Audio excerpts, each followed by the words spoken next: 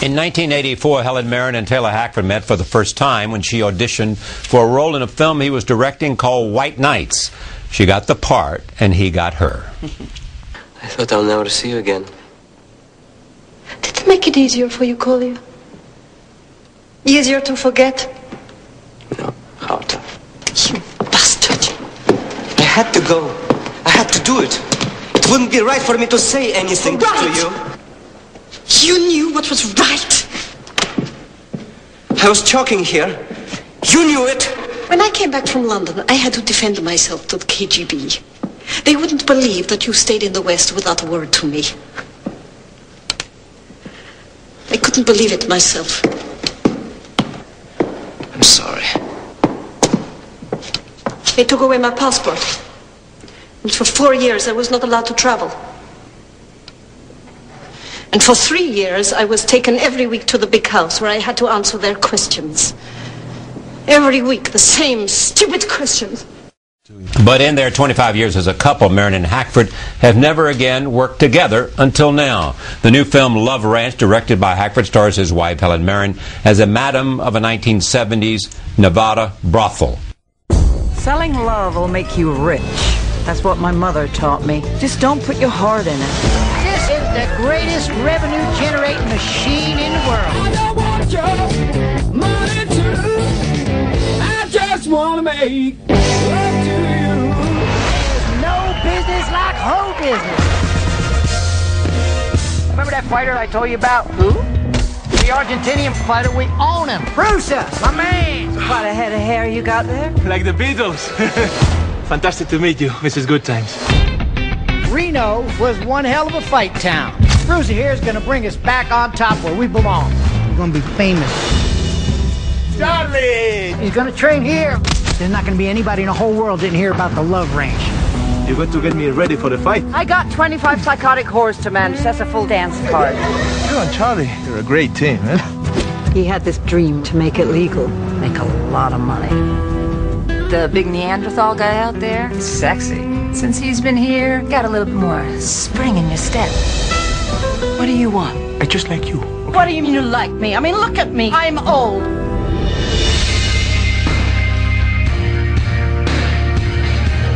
Prostitution is evil. I can't go out there and fight. I need you to do it. Do you think they dreamed of being hookers when they were little? No, they've taken what life has thrown at them and they're making the best of it. It hurts me, Charlie, when you do it right in front of my nose. All those girls mean nothing to me, and you know it. You're my wife. I'm your business partner. That's all I've ever really been. I only care about being here with you. You have no idea what he's capable of.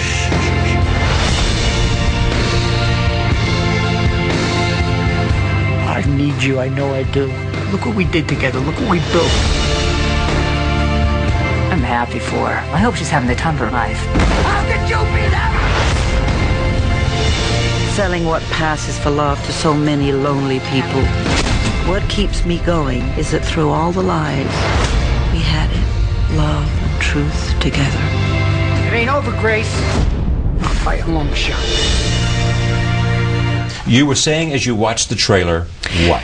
Well, I was saying that it is extraordinary that this was such a dramatic story that actually happened.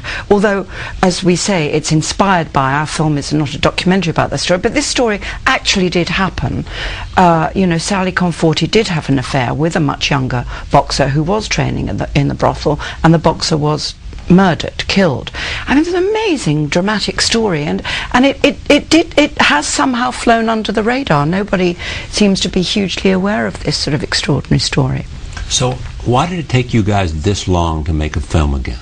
Together. Yes. Well, we've been working, of course, in Of course, I the know, interim, right. you know, in different places at different times, uh, but certainly never together. Now, have you been in search of a story? Yes, that- I, I've, I've actually tried to. Well, well, listen, when you are a filmmaker, you get passionate about something. She can make four films a year. I make a film every two years, Right. if I'm lucky. And, you know, some of the films that I've become passionate about don't have roles for Helen. Ray didn't have a role for Helen. I Uh, could have played his mother, darling.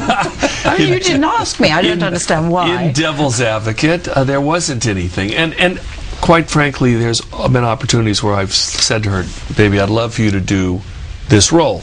And she, you know, an actor is only turned on by how how they think they can be in a film if they like the role. And she very politely went, "No, thank you."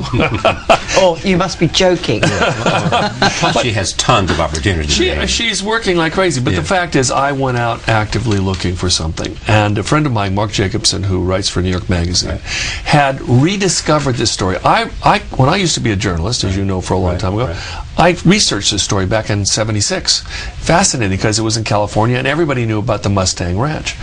But the cover of Rolling Stone magazine. Yeah, yeah, no, it's it's it was a it was a big story at the time, but it's 30 years ago.